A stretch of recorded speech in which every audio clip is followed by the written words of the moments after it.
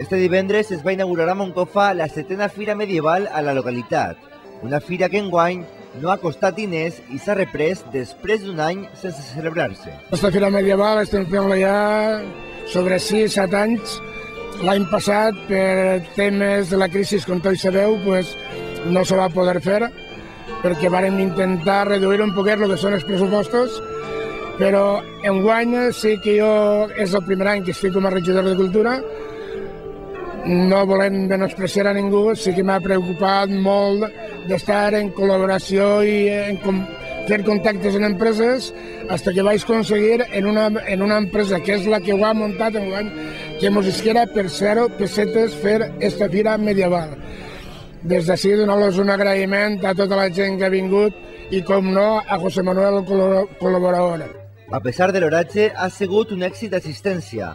Cap de les autoritats del municipi va voler perdre's els estants de productes autòctons nadalencs, així com les exhibicions d'aus rapassos, que eren alguns dels més cridaners.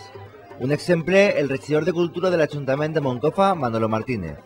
N'hi ha moltíssima gent, no mos ho esperàvem per l'oratge que no mos ha acompanyat, però en fi, des de, un bon, des de bon matí que s'han ficat ficat a, a muntar les parades i ara, conforme heu vist, pues, n'hi ha moltíssima gent i estic molt content i orgullós d'aquesta fira hagi sigut conforme estic sent.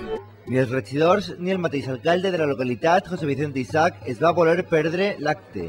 El primer edil recordava en quin moment de la història va néixer la idea d'organitzar este mercat medieval.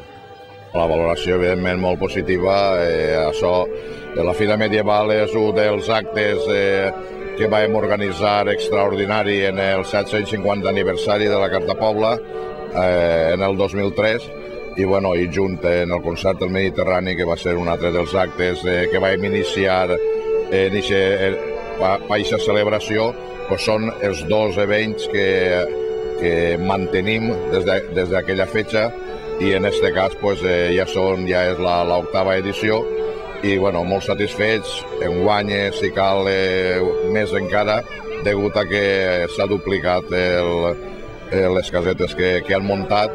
Passejos en poni per als més menuts o parades per a degustar embotits o creps eren altres de les ofertes que es van poder trobar en una fira que ha romàs oberta durant tot el cap de setmana. Si volen conèixer més coses, estiguen atentos al programa d'avui.